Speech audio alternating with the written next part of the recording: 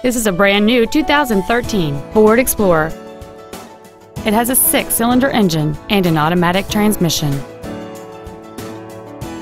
Its top features include a low tire pressure indicator, XM satellite radio, big 18-inch wheels, and traction control and stability control systems.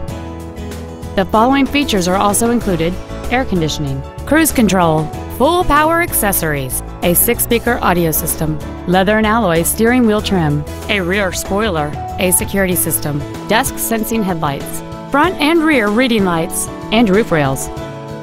Call or visit us right now and arrange your test drive today. Capital Ford is dedicated to doing everything possible to ensure that the experience you have selecting your vehicle is as pleasant as possible. We are located at 4900 Capital Boulevard in Raleigh.